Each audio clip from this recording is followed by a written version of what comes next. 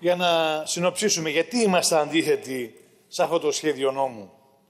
Πολύ απλά γιατί έρχεται να υπηρετήσει τις ανάγκες των μονοπωλιακών ομίλων και όχι τις ανάγκες του λαού για ασφαλείς φθηνές μεταφορές. Τι επιχειρείται με την ενσωμάτωση και αυτών των οδηγιών; Η διευκόλυνση των μονοπωλιακών ομίλων με την αφαίρεση κάθε εμποδίου που υπήρχε μέχρι τώρα και η πλήρης εναρμόνιση της ομοδοσίας με τις απαιτήσεις του φιλικού επενδυτικού περιβάλλοντος. Τι είναι αυτό το επενδυτικό περιβάλλον; Ο λαός να πληρώνει τις υποδομές και να, να, να χρησιμοποιούν οι διάφοροι επιχειρηματικοί όμιλοι τις ίδιες, το ίδιο το δίκτυο ε, και για τα εμπορεύματα και για τους επιβάτες.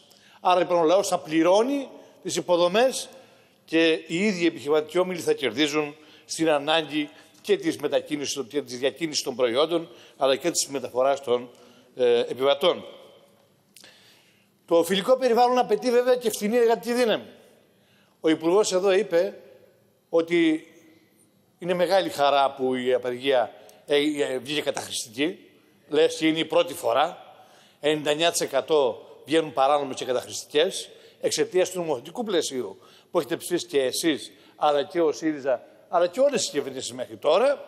Και τι είπε, ότι είμαστε σε μια διαβούλευση για τις συλλογικές συμβάσεις εργασίας. Έδειξε την ευθύνη στον ΣΥΡΙΖΑ και λέει ότι εκείνος μπορεί να ξεμπλοκάρει το θέμα το οποίο ε, μπλόκαρε ο, υπουργός, ο πρώην Υπουργός Οικονομικών της κυβέρνησης του ΣΥΡΙΖΑ.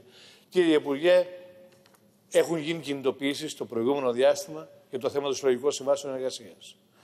Οφείλετε να καθίσετε και να λύσετε το θέμα με τους εργαζόμενους. Επίσης υπάρχουν, υπάρχουν δικαστικές αποφάσεις σε σχέση με την αποζημίωση αυτών που σταξιοδοτήθηκαν. Σας έχουμε κάνει ερωτήσεις, σας είπαμε και στην προηγούμενη συνάντηση, δεν πήραμε απάντηση. Όπως βέβαια δεν είχαμε πάρει απάντηση από την κυβέρνηση του ΣΥΡΙΖΑ.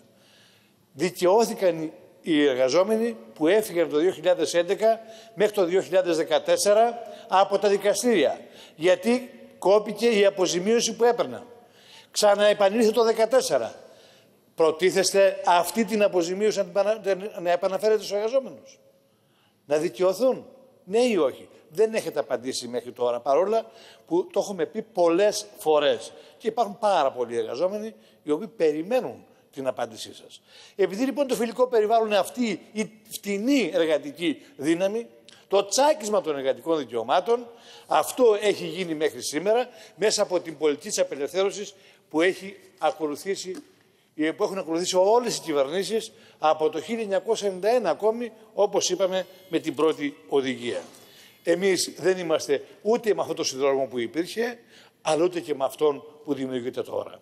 Είμαστε με την κοινωνικοποίηση των μέσων παραγωγής και σε αυτή τη μορφή οργάνωσης οικονομίας οι μεταφορές θα παίζουν σημαντικό ρόλο και ο σιδηρόδρομος θα έχει, μια, θα έχει προτεραιότητα έτσι ώστε να υπάρχει διασυνδεδεμένη πράγματι ε, μετα, διασυνδεδεμένες μεταφορές για να υπηρετούν τις λαϊκές ανάγκες. Κάτι που με τη δική σας πολιτική δεν μπορεί να υπάρξει ποτέ και βεβαίως τα προβλήματα και του λαού για τις μεταφορές και των εργαζομένων με τα δικαιώματά τους θα επιδεινώνονται μέσα από αυτή την πολιτική.